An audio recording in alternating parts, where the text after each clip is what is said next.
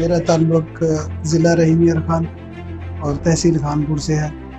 मैं मुल्तान में as a junior यहाँ पे प्रैक्टिस कर रहा हूँ। नौजवान बुकला आते हैं तो उनको पहला यही फाइनेंशियल प्रॉब्लम होता है। दूसरे नंबर पे उनकी ट्रेनिंग के हवाले से।